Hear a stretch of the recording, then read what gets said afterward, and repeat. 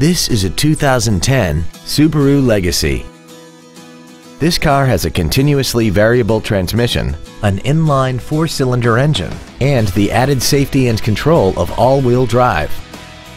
All of the following features are included. Alloy wheels, a low tire pressure indicator, traction control and stability control systems, a CD player, a leather-wrapped shift knob, a four-wheel independent suspension, a passenger side vanity mirror, an anti-lock braking system, a multi-function display, and this vehicle has less than 27,000 miles.